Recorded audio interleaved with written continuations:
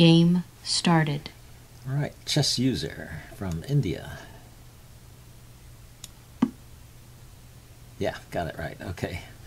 Let's see. Um, I think I haven't played uh, e4, e5 in a while. Let's try that. Yeah, done a French, a Sicilian, and a Scandinavian recently, so those are my main replies.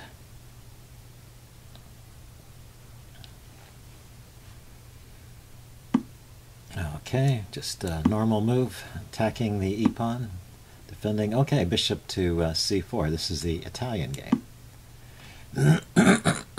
now he can continue with the uh, Evans Gambit, or he can play uh, c3 here, try and build up the center.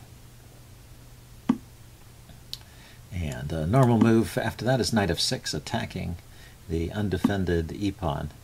And then here, yes, you can play like this. This is a, a line. It's a pawn sack, uh, the way it's usually played. Throwing this check. check. It, I guess it depends on how he responds to the check. But if he plays that, which is the main move, then this here is a pawn sack. And white is sacked a pawn. and now the, the knight is hanging. He's just unpinned. And it's better to take with the bishop than with the knight. There's some tactics with the queen coming to uh, b3 here. Pretty dangerous. And uh, there's also the pin along the e-file, so uh,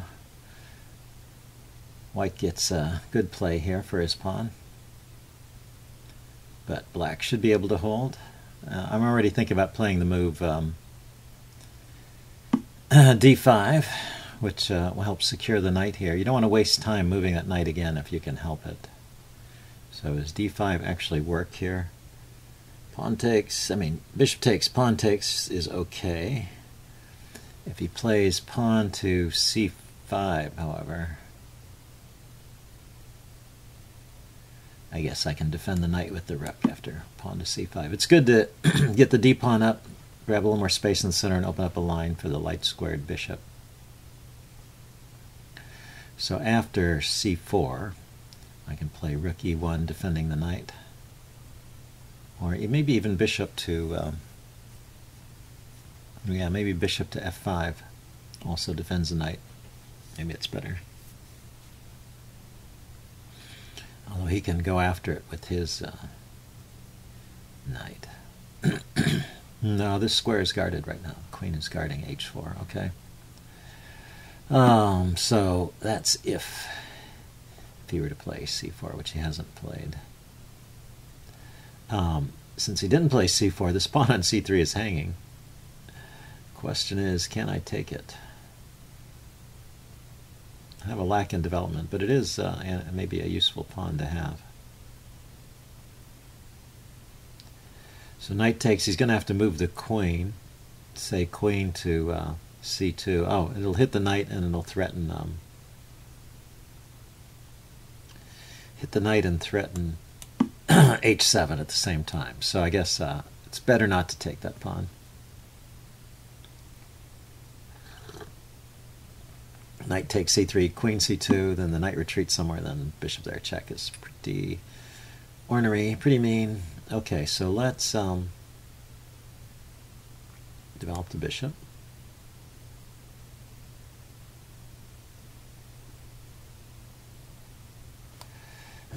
uh, you know, the problem is he's going to play uh, a move like um, knight to uh,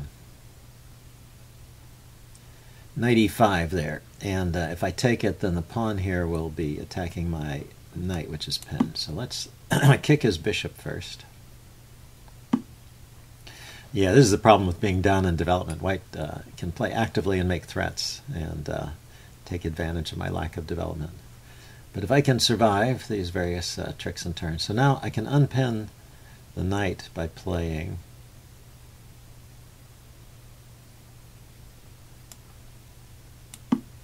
queen to um, d6, defending the knight by the side.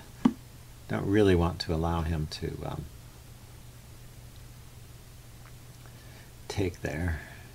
And now, um, time to develop the bishop, I guess.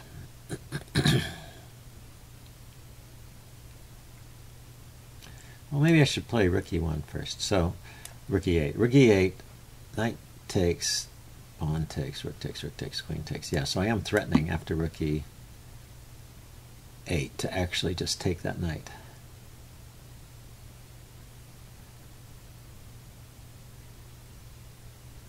And uh, he can take my knight, of course.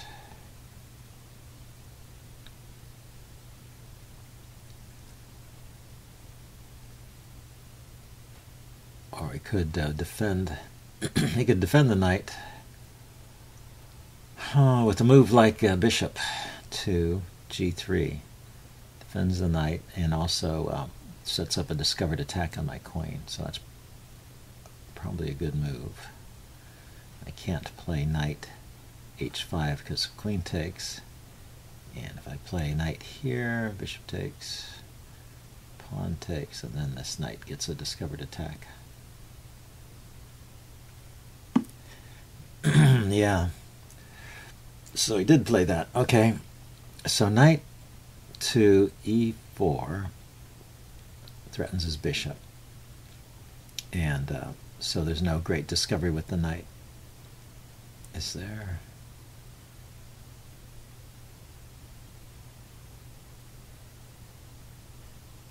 I guess he could win a pawn by taking here. Okay, so let's let's move the queen right away. Question is where? Maybe over here, it's shoring up the uh, king side a bit. kind of a funny position for the queen. But uh, now the queen is no longer needed to uh, support the uh, knight, which is not pinned. And now I can take this knight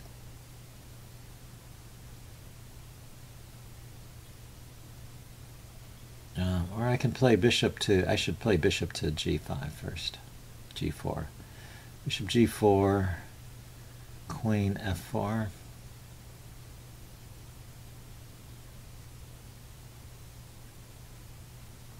Now I can just take it with his knight. Uh, so knight takes, pawn takes. Where does my knight go?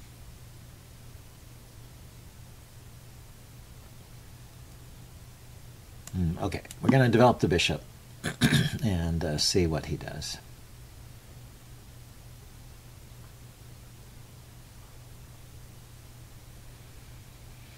Maybe I can maneuver my knight somewhere interesting. Knight here to... Uh,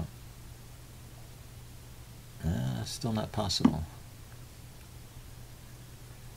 Okay, I'm going to have to take the knight now because uh, my knight is undefended here, and I can't play. Um, I can't play b6 like I want to to defend against the rook. Okay, so knight takes, pawn takes.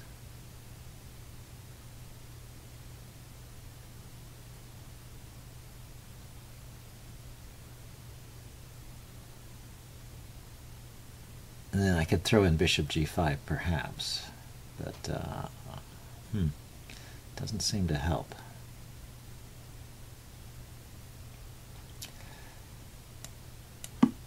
I still need to get rid of that. Um, still need to get rid of that knight. That was a, a very uh, mean piece there.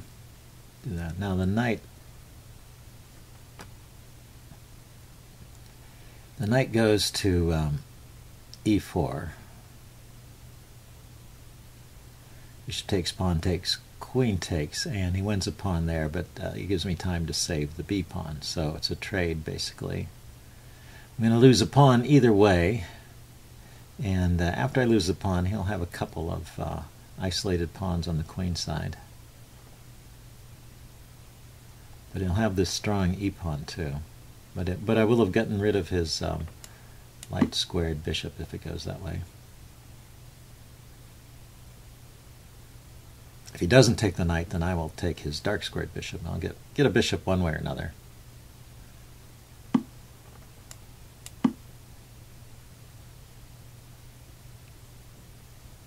And then, uh, then I have time to play uh, b6, because he's got to take back here or move the queen.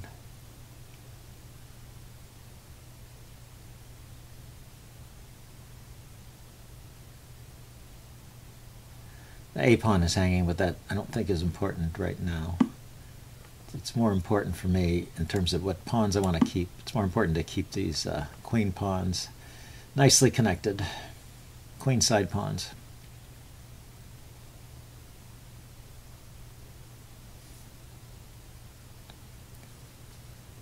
So uh, he can get an attack on h6 maybe with um, something. He needs to move something to the g file to the g pawn and then, then go after the h pawn. Yeah, it's not a bad idea. But um, that allows me to skewer his rooks. Bishop f5. So, bishop f5, bishop takes h6, bishop takes rook. Is there a deadly move with his queen? I don't see it. Well, okay, let's uh, continue this. Game just got disconnected. started. Yeah. Well, hopefully he will uh, continue to play.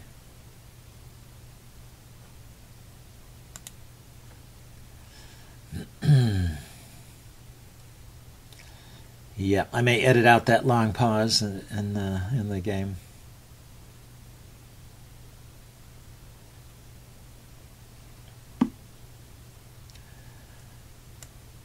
But there was uh, if i do edit it out later what happened was there was a disconnection and then my opponent uh, reconnected and, and resumed the game.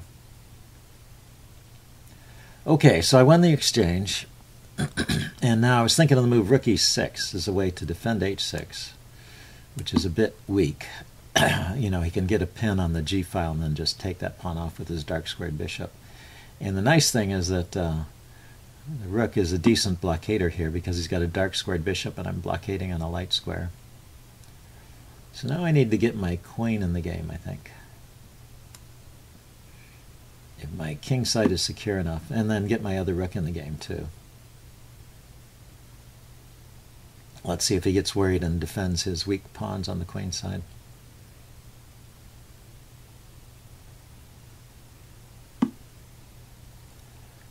Yeah.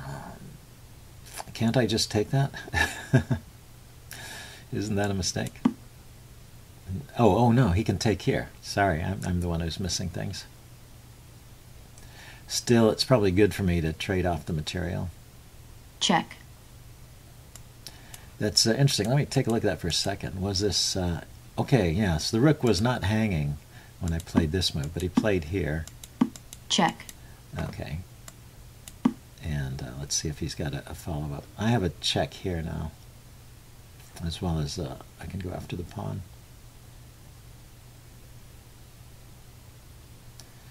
Probably uh, he can go after the uh, f pawn. That's probably the most dangerous thing. Because it's supporting my, uh, my rook. So maybe queen f8 would have been an idea. But he, he does guard against the check here. So let me grab a pawn. When in doubt, grab a pawn. and now I can, I have a winning plan of just uh, promoting my a pawn. So I'm going to play my queen back to um,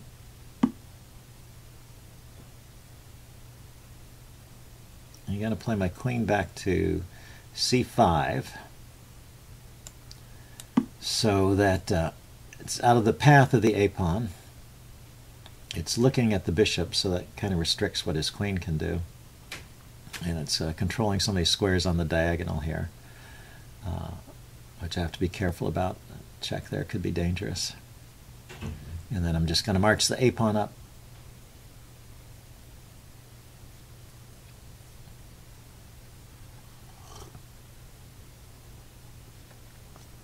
And what can he play here? Hmm. okay, he is attacking the f pawn. Yeah, yeah, that is um, a weakness here. But what I can do is I can actually take the e pawn because it opens up a line for my queen to defend the f pawn, right?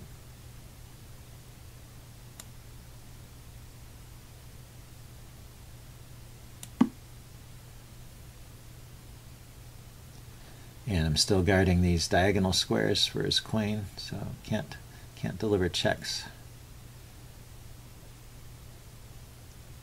You can do that, yeah.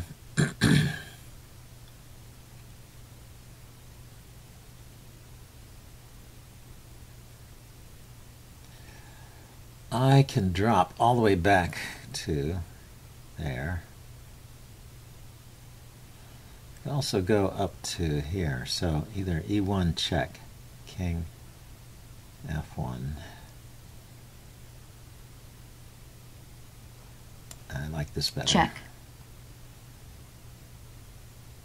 It's usually better to play actively. So I don't have a great follow-up is the only problem. That's why I was kind of hesitating there. But I can bring my queen here. Um, it defends the rook, stays in touch with the f-pawn. It's on a light square, so the bishop can't really attack it.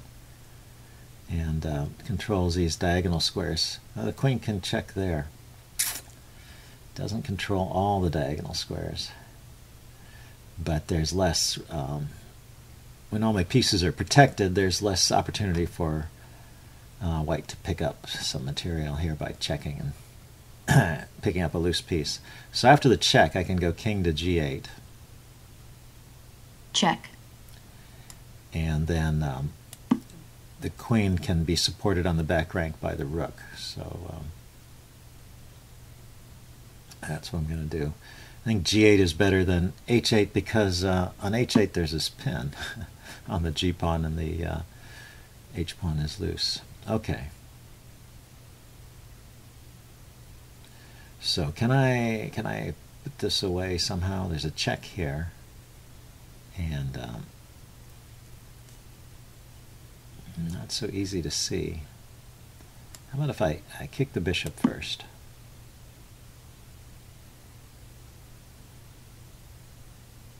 It's nice that the queen has no check at this moment. The bishop has no good squares on this diagonal. So asked to retreat. And now I can deliver a check. He's also got a check here. Yeah, and after a check there, he's going to... Um, uh, but this um, does the check here, Check. if he blocks with the bishop, for example, um, I'm attacking also the uh, h pawn. Okay, my time is low, so I probably need to move a little bit quicker. So check here, and uh, isn't this getting Check. to be near the end? Because uh, he has to block with the bishop, and I can just take it, and then it's mate, right? White resigns. Yeah, I, I think it was. Okay, I will take a look at this at the postmortem as usual. See you guys later. Bye.